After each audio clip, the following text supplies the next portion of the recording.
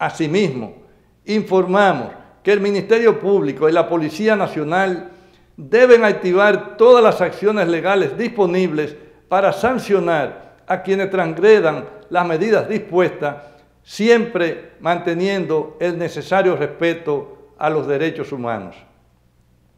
A las instituciones públicas y al sector privado autorizado a mantener sus operaciones, les exigimos que apliquen las medidas de distanciamiento social y protección tanto para su personal como para los usuarios de sus servicios. Abrir negocios, desplazamientos en colectivo, actividades sociales y cualquier tipo de aglomeración se traducirá sin duda en nuevos contagios, visitas al hospital y sobrecarga de los recursos médicos.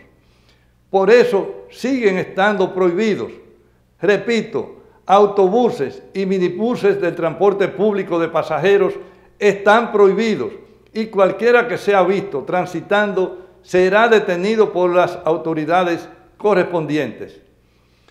Si bajamos la guardia, perderemos el terreno conquistado contra la enfermedad. No es un juego, lo estamos viendo en todo el mundo. Hablamos de miles de fallecidos.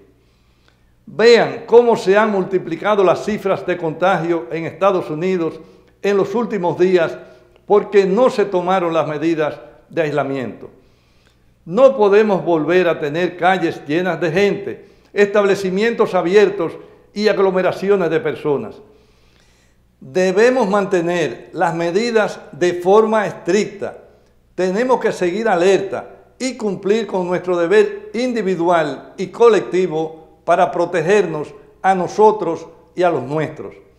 El riesgo de contagio sigue en la calle. Salgan solo a adquirir los productos de primera necesidad y cuando deban hacerlo, salgan protegidos.